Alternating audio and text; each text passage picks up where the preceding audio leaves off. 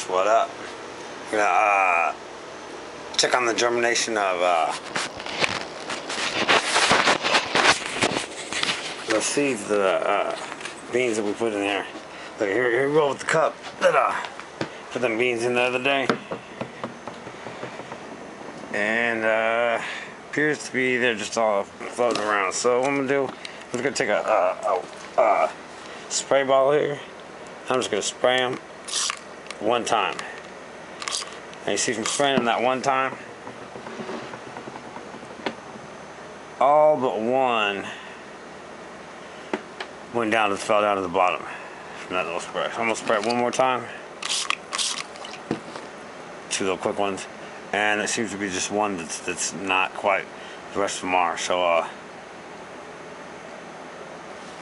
leave those in there for like maybe another 24 hours and uh if they're going to be viable then, then some taproot should be popping out. Um, so that's the, the, those ones